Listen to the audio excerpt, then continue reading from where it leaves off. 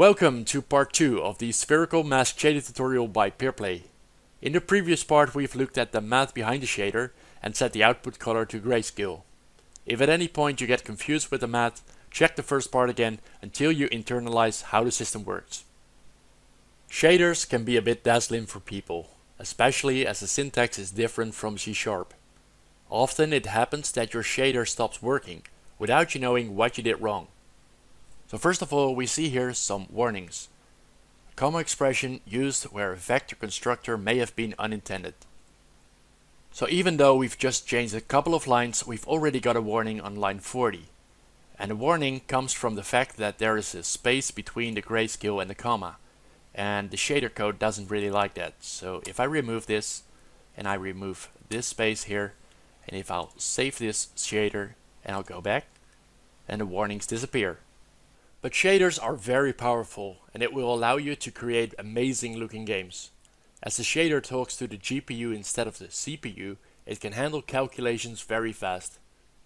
But even though today's graphics cards are very powerful, it is still a good habit to optimize your shaders. So let's have a look at the code I've written so far. At line 39 I declared a float value called grayscale. But instead of using a float, we can also use a half. And this will optimize the code because a half is half of the length of a float. So we'll change this to a half. Now here I've divided by 3. But dividing is slower than a multiplication. So we can change this to multiplication. And instead of using the 3, we can say multiply by 0.333. And we get the same result, but it's faster and more optimized. And apparently the warnings that we've seen earlier weren't about the spaces, but it's because I should say this is a fixed 3, and that should fix the problem. Now let's start by writing out our spherical mask shader. Now let's scroll to the top and we will add some properties that we need in our shader.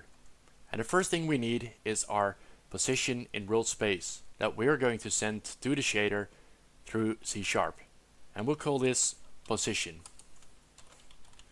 and we have to open this and we'll give it a name so we can see in the editor the name that we've called it. And let's just call this position or let's call it world position.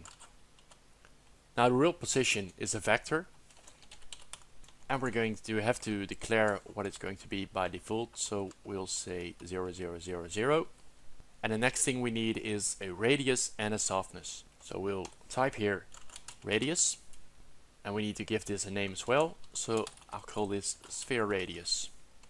And I'll make this a range because I don't want to have the radius go below zero.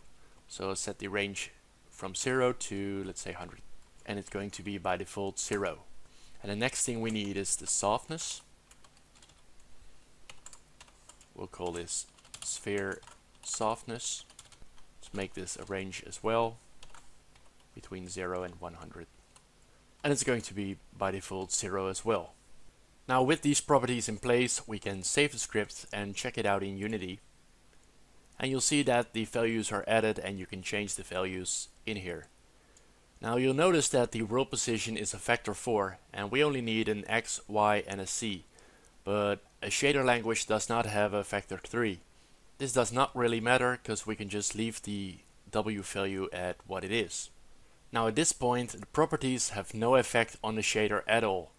The properties are part of ShaderLab and if we are going to write in the shader we have to get these different values into the CG program. So you'll notice here that for example the color has been declared here as a fixed 4 color. So the same thing we will do to the position, radius and softness. Now here we will add the position and it is a vector so it's either in shader language a fixed 4, a half 4 or a float 4. And as this is a world position and needs to be very specific we'll create a float 4 and we'll call this position. And we have to set a semicolon here inside the CG. And you'll notice that inside the CG we do need to use a semicolon. Now for the next ones, we've got the radius and the softness, and these will both be halves. So we'll say half radius, and we'll create a half softness. Now we can use these properties in our calculations. So scroll down to the void surface input output and in here I'm going to clean up this a little bit. So let's put an enter here. Uh, this is about the grayscale, so let's call this grayscale. And this is about the color. Now the first thing we need to do is to create a distance check between the position that we've put into the shader and the shader position in world space. So let's create here a half and we'll call this D for distance and it's going to be distance between two vector 3's and the first one is going to be the position and the second one we need is the in.worldPos but we haven't got the in.worldPos in our shader yet. If you look at the fix for C you can see here the in.uv MainTex. if you scroll up to the input struct you can see that it's requesting here the uv.MainTex. So we have to add here the worldPos and we can do this by writing a float3 and we'll call this worldPos. And you have to write worldPos with a capital P. That's just how it works in the shader. So now with this in place, we can go back to our distance check and we can type here in dot worldPos. Now we're ready to create the sum of our calculations. So I'll create a new half and I'll call it sum. And it's going to be d distance and as I explained in the animation of the first part it's the distance minus the radius and we're going to place this between parentheses because we're going to divide the result of this by the minus of the softness and we'll put this inside another parentheses because the entire value of this we want to saturate so we'll type here saturate and we'll close off with a semicolon. So now the outcome of this value will always be between 0 and 1. Now the result of the sum we want to place inside a lerp, because we want to lerp from grayscale to color. And as we will output a color, we can use a fixed 4, and we'll call this lerp color. And it's going to be a lerp between the grayscale and the color with the sum as the amount. So first we need the grayscale, but the grayscale is a fixed 3 and we need to have a fixed 4. So we're going to cast this to a fixed 4. So let's write a fixed 4, open parentheses, close parentheses, and then we're going to type here the c underscore g, and we'll put a comma here, and we'll place in 1 for the alpha.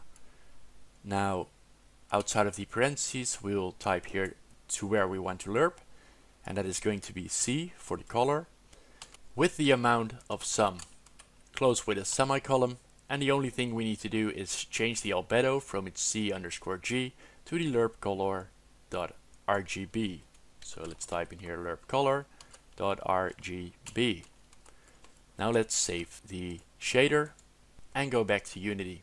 Now the shader is already working, but the only reason we don't see any result is because all the values are set to zero. So let's change that.